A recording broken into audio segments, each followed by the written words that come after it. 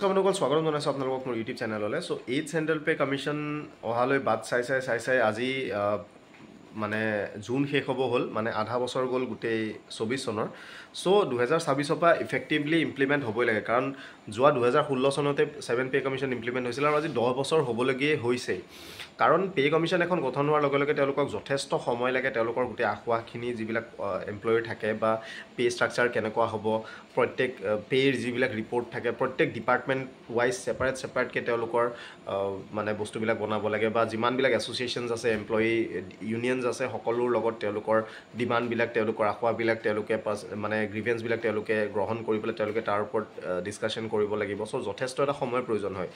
চ' ছাব্বিছ চনলৈ মাত্ৰ ডেৰ বছৰ বাকী আছে। চ' এই ডেৰ বছৰ সময়ছোৱাটো বৰ্তমান সময়লৈকে কোনো ধৰণৰ পে' কমিশ্যন গঠন নকৰাটো এটা বহুত ডাঙৰ কথা আৰু ষ্টেট গভমেণ্টটো বাদেই দিয়ক চেণ্ট্ৰেল গভমেণ্টৰ সকলো স্তৰৰ সকলো ডিপাৰ্টমেণ্টৰ কৰ্মচাৰী জইণ্ট নেশ্যনেল কাউন্সিলৰ ফালৰ পৰা বাৰে বাৰে লেটাৰ দি থকা হৈছে চেণ্ট্ৰেল গভমেণ্টলৈ এইবাৰ পুনৰ একৈছ জুনৰ এখন চিঠি আছে মই আপোনালোকক দেখাই আছোঁ যিখন অনাৰেবল ফাইনেন্স মিনিষ্টাৰক দিয়া হৈছে। আৰু এই লেটাৰখন গুৰুত্বপূৰ্ণ এইকাৰণে হ'ব বুলি ভাবোঁ কাৰণ আগন্তুক বাজেট অধিৱেশন আহি আছে আৰু এইবাৰ বাজেট অধিৱেশনত হয়তো এইট পে' কমিশ্যন গঠন কৰাৰ ঘোষণা কৰিব পাৰে। সেইটো এটা পূৰ্ণ সম্ভাৱনা আছে। সম্ভাৱনা মানে কি? সময় নায়েই। আৰু এতিয়া মানে এইটো পিক টাইম আৰু। এতিয়া গঠন কৰিবই লাগিব। এতিয়া যদি গঠন নকৰে পে' কমিশ্যন এখনে সঠিক এটা ৰিপৰ্ট তেওঁলোকে দিব নোৱাৰিব যদি এক এক ছাব্বিছত ইমপ্লিমেণ্ট কৰিব লাগে। কাৰণ ইমপ্লিমেণ্টটো কৰিব লাগিব। দহ বছৰ হৈ গৈছে আৰু সেইটো মানে ৰেকমেণ্ডেড এটা টাইম হয়।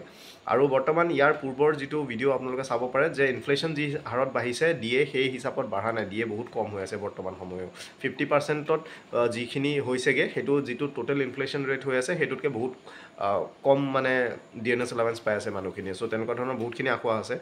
চ' লেটাৰখন কি আছে এবাৰ চাই লওঁ। চ' আপোনালোকে দেখিলে বাৰে বাৰে বহুবাৰ চেণ্ট্ৰেল গভমেণ্টৰ লৈও তেওঁ মানে বহু ৰেকমেণ্ডেশ্যন কৰা হৈছে বহু চিঠি পত্ৰ দিয়া হৈছে যে এইট পে' কমিশ্যন আপোনালোকে কনষ্টিটিউট কৰক।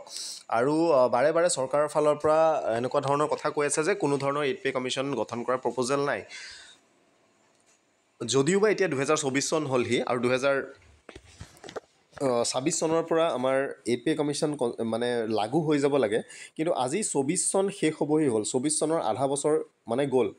অ'কে এতিয়া যদি আমি নৰ্মেলি চাব যাওঁ আমাৰ ডেৰ বছৰ এটা সময় আছে। এখন পে' কমিশ্যন যদি গঠন হয় আপোনালোকে জানে পে' কমিশ্যনখন গঠন হওঁতে হওঁতে যথেষ্ট সময় লাগে কিয়? কাৰণ পে' কমিশ্যনখনৰ যি মানে গঠন কৰা হয় তেওঁলোকে বহুখিনি বস্তু চালি জাৰি চাব লাগে। মানে প্ৰত্যেক ডিপাৰ্টমেণ্টৰ আসোঁৱাহ কি আছে মানে পে' স্কেল কেনেকুৱা কৰিব লাগে বা নতুন কিবা পদ লাগে নেকি পুৰণা পদ এবলিছ কৰিব লাগে নেকি তেনেকুৱা বহুত ধৰণৰ বস্তু তেওঁলোকে চায়। বা আসোঁৱাহ আছে নেকি এনমেলি আছে নেকি পুৰণা পে' কমিশ্যনত কিবা খেলি মেলি থাকিল নেকি তেনেকুৱা ধৰণৰ বহু বস্তু চাব লাগে যাৰ কাৰণে তেওঁলোকৰ যথেষ্ট সময় প্ৰয়োজন হয়। তেওঁলোকে যি বস্তুখিনি দিয়ে তাৰপিছত তেওঁলোকৰ আকৌ সেই ৰিপৰ্টৰ ওপৰত বেছ কৰি পেলাই কাৰোবাৰ কিবা কমপ্লেইন আছে নেকি তেনেকুৱা ধৰণৰ বহুখিনি চোৱা চালি জাৰি পোৱাৰ পিছত ফাইনেল পে' কমিশ্যনৰ ৰিপৰ্ট আহে। চ' সেইটোৰ কাৰণে যথেষ্ট সময় লাগে। চ' পুনৰবাৰ লেটাৰ দিয়া হৈছে ষ্টাফ ছাইডৰ পৰা। ষ্টাফ জে চি এমৰ ষ্টাফ ছাইডৰ পৰা দিয়া হৈছে নেশ্যনেল কাউন্সিলৰ কাক দিয়া হৈছে? To honourable finance minister government of India তেওঁলৈ দিয়া হৈছে। ইয়াতে কোৱা হৈছে যে consideration of important issues of the staff side in upcoming budget twenty four twenty so' আপোনালোকে বাজেট জানে যে বাজেট আহি আছে।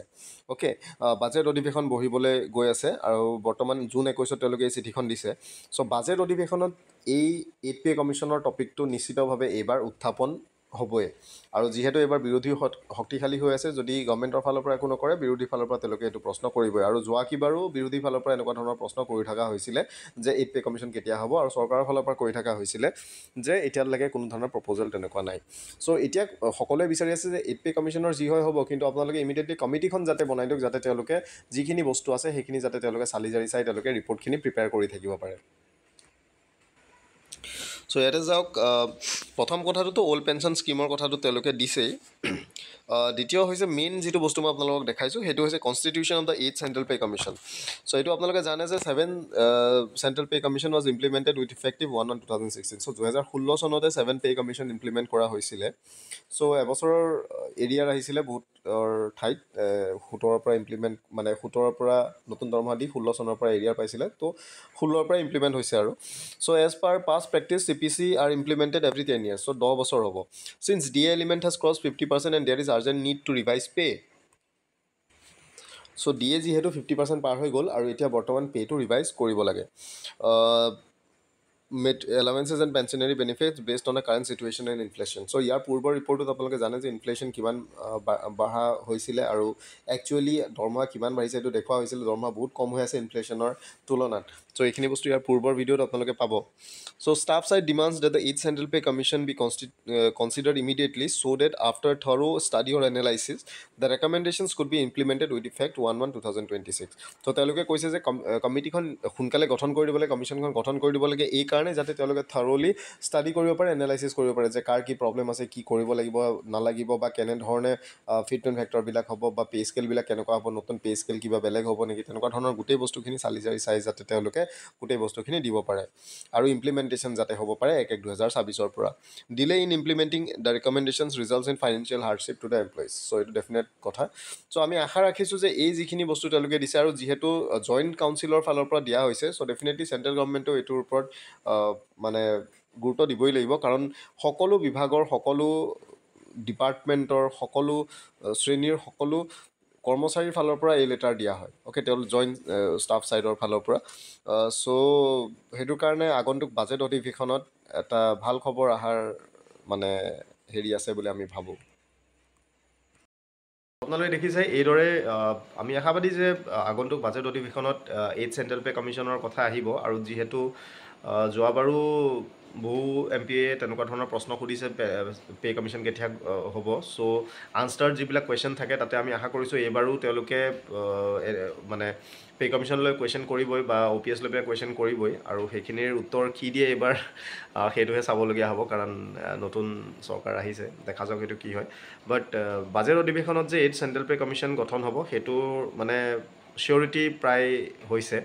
চ' দেখা যাওক যি হয় আৰু যিমানখিনি ইউনিয়ন আছে বা যিমানখিনি এমপ্লয়ী এছ'চিয়েশ্যন আছে মই সকলোকে এই বস্তুটো মই এই ভিডিঅ' যোগেদিয়ে মই ক'ব বিচাৰোঁ যে আপোনালোক ৰেডি থাকক আপোনালোকৰ কি কি আশা আছে কি কি প্ৰব্লেম আছে কেনেকুৱা ধৰণৰ সমস্যাবিলাক আছে বা কেনেকুৱা ধৰণৰ আপোনালোকৰ পে' ষ্ট্ৰাকচাৰ বা আপোনালোকৰ গ্ৰেড পে' লৈ পেলাই বা আপোনালোকৰ মানে প্ৰমোশ্যন তেনেকুৱা ধৰণৰ সকলো যিবিলাক সমস্যা আছে সেইবিলাক লৈ আপোনালোক ৰেডি থাকক। পে' কমিশ্যনৰ যেতিয়া কমিটি বহিব তেতিয়া আপোনালোকৰ এই গোটেই ডিমাণ্ডবিলাক আপোনালোকে ছাবমিট কৰিব পাৰিব। আৰু পে' কমিশ্যনে একমাত্ৰ এটা মানে চান্স য'ত আপোনালোকে সকলো ধৰণৰ বস্তুবিলাক আপোনালোকে কৰি ল'ব পাৰে। কাৰণ তাৰ পাছত এন'মেলি কমিটি হওক এন'মেলি কমিটিৰ ৰিপৰ্ট হওক তাৰ পাছৰ পৰ্যায়ত মানে থ্ৰু গভৰ্ণমেণ্ট ডিপাৰ্টমেণ্টছ হওক এইবিলাক আপোনালোকে কৰাটো বহুত এটা সমস্যাৰ কথা। চ' পে' কমিশ্যন আহোঁতেই আপোনালোকে নিজৰ যিমানবিলাক ডিমাণ্ডছ আছে বা যিমান ধৰণৰ যি কৰিবলগীয়া আছে সেইখিনি আপোনালোকে প্লেচ কৰিব। ইয়াতে এই পে' কমিশ্যনটোৱে একমাত্ৰ এটা চান্স য'ত আপোনালোকে গোটেই বস্তুবিলাক মানে কৰিব পাৰিলে আপোনালোকে কৰাই ল'ব পাৰে। চ' দেখা যাওক কি হয় আমিও সোনকালে আশাবাদী যে পে' কমিশ্যন গঠন কৰিব কাৰণ পে' কমিশ্যনখন গঠন নোহোৱালৈকে একো ধৰণৰ কাম নহ'ব। আৰু পে' কমিশ্যনখন গঠন হ'লেহে যাৰ যিবিলাক প্ৰব্লেম আছে সেই প্ৰব্লেমবিলাকৰ ওপৰত এনালাইচিছ কৰি তেওঁলোকে ৰিমাৰ্কছ তেওঁলোকে মানে দিব বা তেওঁলোকৰ যিখিনি ফাইণ্ডিংছ হয় সেইখিনি তেওঁলোকে মানে ফৰৱাৰ্ড কৰিব। আৰু তাৰ ওপৰত ফাৰ্ডাৰ গভৰ্ণমেণ্ট হওক ডিপাৰ্টমেণ্টছ হওক বা যিবিলাক ইউনিয়নছ হওক বা যিবিলাক এমপ্লয়িজ হওক তেওঁলোকৰ আখোৱা যিবিলাক আছে সেইখিনি পুনৰ তেওঁলোকে বিবেচনা কৰিব। চ' দেখা যাওক কি হয়। So' ultimately eight pay' commission আমি ভাবিছোঁ আৰু বাজেটত সেইটো এইবাৰ উত্থাপন হৈ পেলাই কমিটি গঠন কৰা হ'ব। চ' থেংক ইউ